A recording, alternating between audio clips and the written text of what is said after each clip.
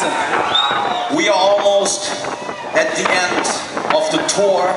We have played many, many places. We have played in China, we have played North America, we have played Canada, Argentina, Chile. But you know what? It's always special to come back to Brazil.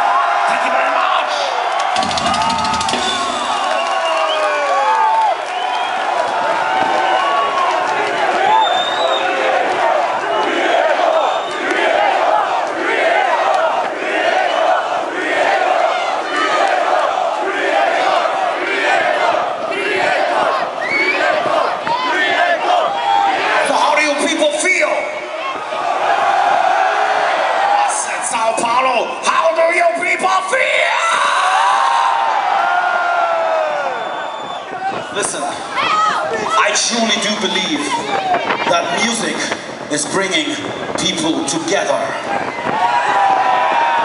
While fucking religion and motherfucking politics